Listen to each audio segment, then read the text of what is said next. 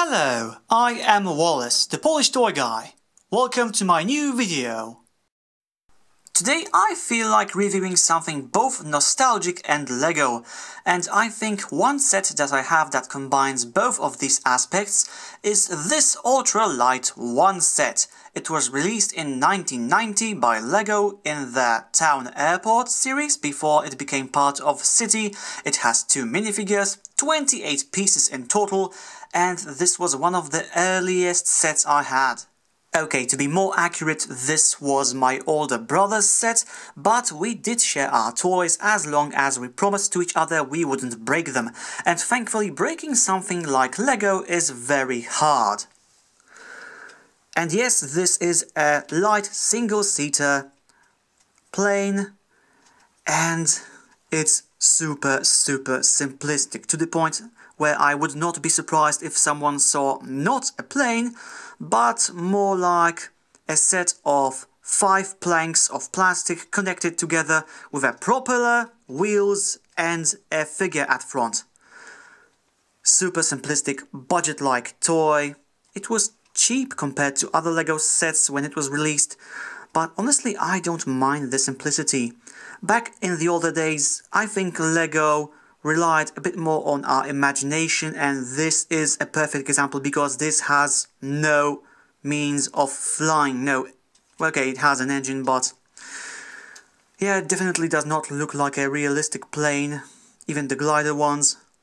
But yes, a kid will identify this as a plane, so the main function is served. And the control sticks, two of them, something like this. I don't know what's this supposed to be part of the big part of the control system. I don't know, but eh, it might be as well a decoration. But yes, we have a place for the figure, and as you can see, the wings have a nice cut in them so that the head can rest here. And once we remove the pilot, this gets even more imagination driven. It's a nice grey, red, white piece Okay, this is more like slightly yellow tinted now, but it's aged. This was originally white, definitely. But you know, even if you hold it away from the sun, age does its thing. But I don't mind, this is not something that I want to show off to people, this is a memento of my childhood, a really good one. So this is much more a nostalgic piece than a collector piece and I don't mind its current state. And this is also nice in the way that while some parts are not connected very tightly to each other, if it snaps, you just reapply it and you don't have to spend hours building out some layers so that you can replace something that was beneath, so that's nice. Of course, the landing gear, three pieces, which are actually, I think, rubber or soft plastic. They don't hide because they don't have a place to hide, but I don't mind. Like I said, super, super simplistic toy. It's great for people with big imagination. But at least we, we have moving control sticks. That's something. Now let's take a closer look at the figure, starting from the pilot, who looks a lot like Benny from the Lego movie, which I do like. And aside from the helmet, his pilot stylization is very simple, as you can see there's nothing on the back that would indicate his job. At the front we have three white details, we have part of his collar over here, we have this diagonal zip, and we have another zip for the pocket, and that's it. Yellow hands, yellow face, clear blue opening visor like that, and a very very tight helmet that's so tight that on my piece it actually comes off with the head. So you know well usually it does. As you can see this is very loose and it goes off pretty easy if you want to behead your Lego figure for some reason and this is just two dots and a bow nothing more for face no second face no hair add-ons so yes very simple but I guess well working for the purpose figure. The second figure is airport staff figure, also very simple. Red pants, red removable cap, no face behind.